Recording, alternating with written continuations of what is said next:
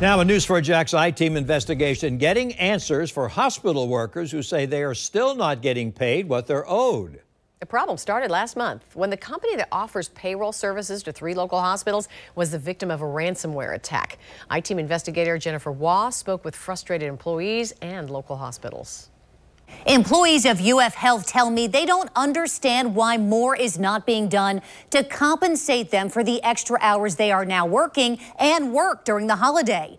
None wanted to talk with me on camera out of fear it could jeopardize their jobs, but here's what they tell me. One employee writes they are owed well over $1,000 in incentive pay for working overtime and during the holidays, and says the hospital's fix, asking employees to fill out sheets manually, like this one, is not working. Their paycheck is still wrong. Another employee tells me when the paycheck problems are reported to their boss, their boss doesn't respond and has told them that they are not allowed to take pictures of their timesheet which the employee says is their only record of what they should be paid.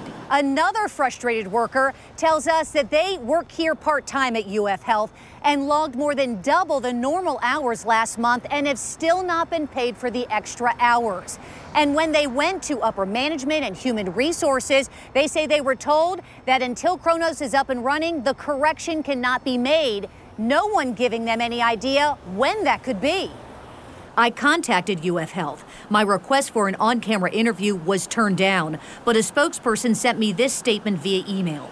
The hospital is keeping track of all hours worked and is paying employees for all overtime, shift differentials, etc., as soon as possible. There might be delays in some of it, other than base pay, which the organization made sure to take care of immediately after the hack because timesheets are being done manually right now. But every employee is being paid at least base pay right now and will be paid for all hours worked.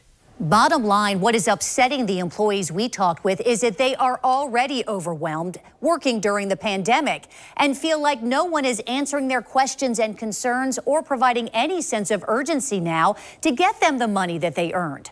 I contacted Kronos asking what it is doing to get the payroll system back up. A spokesperson with UKG, that's the company that operates Kronos private cloud, says this week it is starting phase one to check if any of its customers have any malware in their system, which could take several days. Phase two will be restoring service completely. The speed that happens depends, though, on the hospital's systems. But happening now, UF Health and other Kronos customers are being notified this week about a better timeline of when the pay payroll system is running again. Now, I did check with other hospitals in our area.